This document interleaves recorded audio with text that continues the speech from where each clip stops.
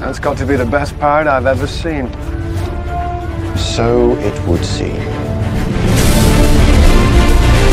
We must continue the fight, with or without one of our crew members